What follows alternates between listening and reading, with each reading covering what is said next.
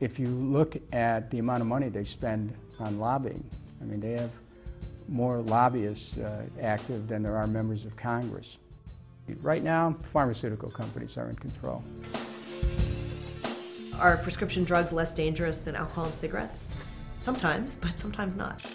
We've turned the corner on drug addiction in the United States. One of the most famous stars in Hollywood history is dead at 36.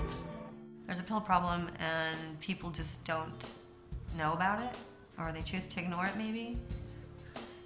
And kids are dying. Kids are dying every day.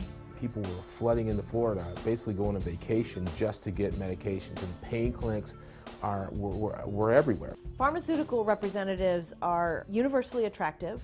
They get recruited from places like cheerleading squads at Big Ten schools. What I'm holding is a bottle of Zyprexa. Zyprexa is an antipsychotic medication. It's very popular and it's very expensive. This, among some of the others, uh, Abilify, are very, very commonly diverted. The reason being is, again, the medical programs, insurance programs pay a lot of money for these drugs. What was once a diagnostic manual that was paper thin is now a huge book with hundreds of diagnoses in it. To the point where people are being sliced and diced.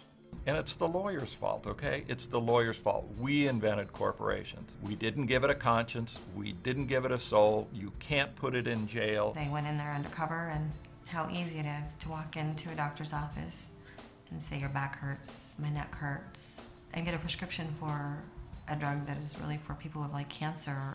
This is a criminal act on the part of a company.